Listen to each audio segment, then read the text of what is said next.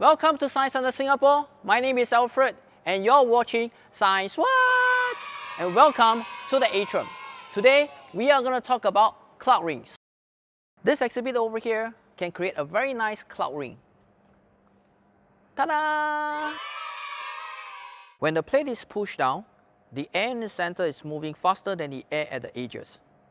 The air at the edges then get drawn into the center with the outward force of air coming out from the hole the swirling or vortex motion can be observed with the help of the smoke.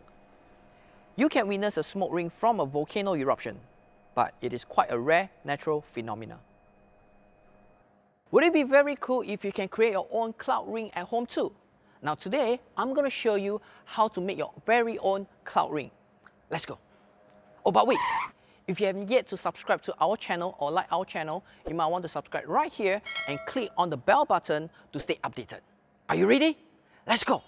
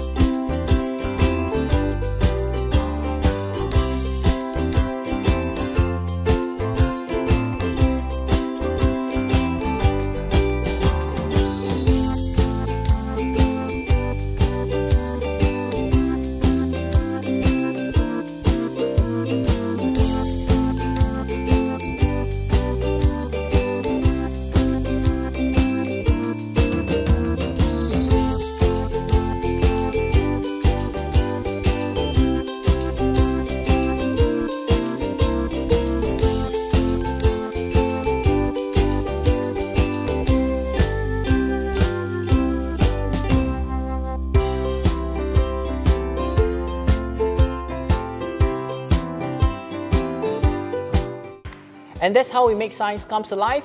Thank you for watching our videos. And if you enjoyed the videos today, do remember to like and share to your families and friends. Bye!